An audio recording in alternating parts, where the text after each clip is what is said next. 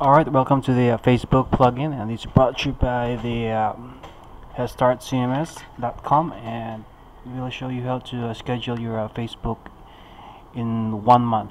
So if you're traveling outside and uh, you have problem on your uh, media, so you just schedule it. So this is for example, I'm using the uh, reference for my AT hosting affiliate. So I'm just scheduling this for just for one month here. So make sure the uh, the sequence would be uh, different. So that's where and I'm having a scheduling this one for one month here until I make a lapse.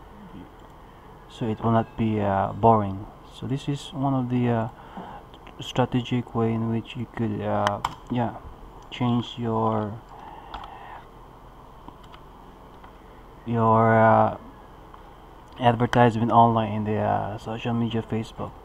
So now I want to uh, create a sale on this affiliate here because uh, they give a commission.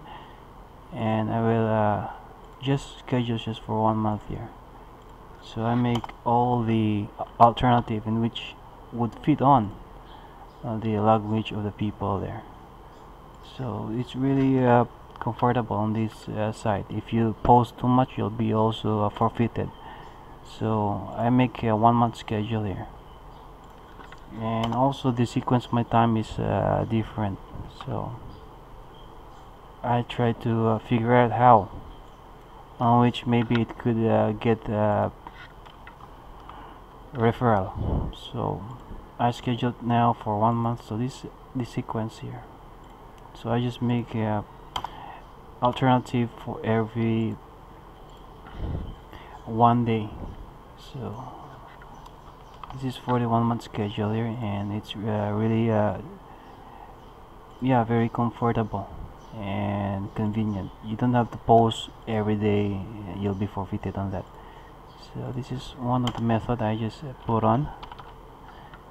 And if you have time on yourself you do it on your own uh, page there. So this is for uh, one month there and it's really easy. Uh, you can do it. And if you want to support like our page here. Thank you for listening. This is brought to you by head start cms